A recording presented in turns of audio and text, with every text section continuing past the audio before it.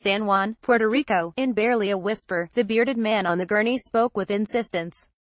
The hurricane didn't devour us, he said. What the hurricane did was deprive us of light. It was the lack of light, electricity, that put Nelson Noriega here in this Veterans Affairs Hospital emergency room Wednesday.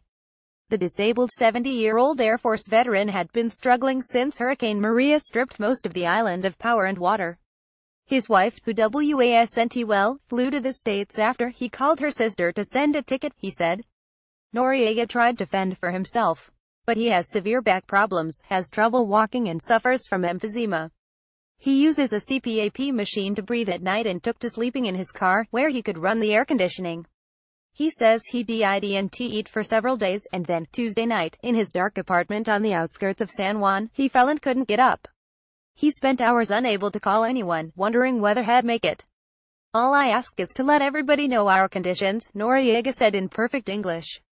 The burdens everyone here went through. Since the Onetwo punch of Hurricanes Irma and Maria bludgeoned Puerto Rico and the Virgin Islands in September, the emergency room at the VA hospital in San Juan has been operating at maximum capacity. Patient counts are up from 80 each weekday to as many as 120, and from 100 to 160 each weekend day, according to Hector Alonso, chief of emergency medicine. Not only are there more patients, people who are injured or whose health declined in the poor conditions, but many people with chronic ailments are in a more acute state, Alonso said. More elderly are coming in, and people who would be cared for at home have been forced out of damaged homes. The lack of power and water alone has complicated care for many, he said. If families are not around to care for patients, there's no one to release them to once they've been treated. We don't want to throw them out on the street, he said. It complicates things. In many instances the VA has kept people after they were stabilized, simply because they had nowhere else to go. The storms immediately after Irma hit September 6, the VA emergency staff kicked into crisis mode. Puerto Rico had not gotten the brunt of Irma, but nearby St. Thomas had, and its only hospital had been damaged.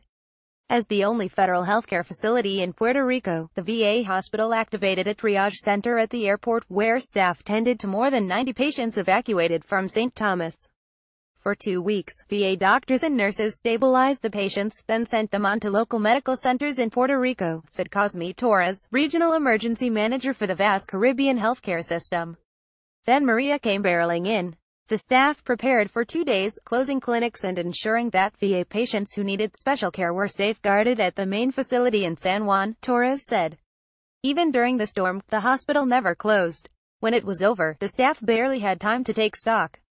All but two clinics around Puerto Rico were immediately reopened. In Ponce in the south and Arecibo west of San Juan on the northern shore, where clinics were badly damaged doctors and pharmacists were in place to give patients prescriptions, equipment and basic services. This wasn't a regular hurricane, Torres said. It was like a nuclear bomb.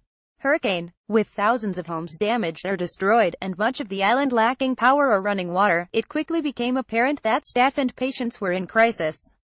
Meanwhile, patients kept coming.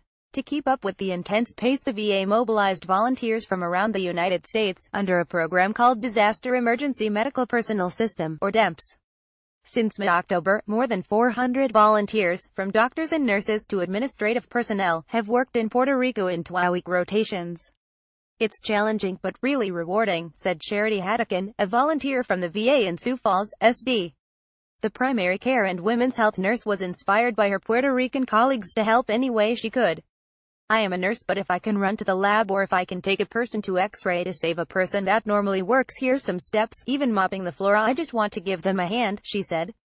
Helping veterans There are 93,000 veterans in Puerto Rico 67,000 enrolled with the VA. Military service makes people on the island extremely proud, said Torres, a retired Army veteran who served in Operation Iraqi Freedom. It was that pride that kept VA employees coming to work in the days and weeks after the hurricane, he said. Even with the challenges we faced every day, people came back to work for veterans, he said. In addition, Alonso said, in Puerto Rico sometimes veterans don't feel fully appreciated on the mainland in spite of their enormous contributions to our military. So yes, we are very proud Puerto Rican veterans for our contribution. Dedication aside, the enormity of the disaster does weigh on the staff. We have had our fair share of breakdowns among employees, said Alonso. It's been very emotionally charged. But people have shown an ability to adapt to their new reality, he said. In the first days after the hurricane, Alonso said they were all so busy getting the hospital running that they couldn't see the big picture. Communications were down. The switchboard couldn't make calls. But then he started seeing patients coming back, and saw the hospital's ability to serve them. And he understood. It's not about the setup of the hospital, he said. It's not about the cell phone networks or the electrical grid. It's not about the rescuers, he said. It's about the patients. Saving lives after Maria struck, VA staff around the island began seeking out the most vulnerable patients to make sure they were okay. In Utuado, one of the hardest hit areas where the storm washed out the main bridge connecting residents with supplies, staff had not heard from one patient in days, Torres said. When they went to the Mont's home, they saw it was badly damaged.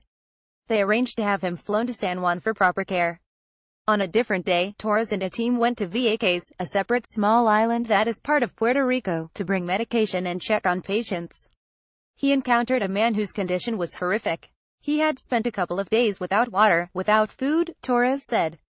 We got that veteran into a helicopter, he said, wiping his eyes.